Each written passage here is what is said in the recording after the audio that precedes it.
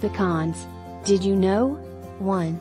Rich in antioxidants, pecans contain high levels of antioxidants that help protect the body against damage from free radicals.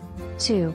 Good for heart health, pecans are rich in monounsaturated and polyunsaturated fats, which help to lower cholesterol levels and reduce the risk of heart disease. 3. Boosts brain function, Pecans contain high levels of vitamin E, which is known to improve brain function and protect against age-related cognitive decline. 4. Supports healthy skin, pecans are rich in vitamins A and E, which help to protect and nourish the skin.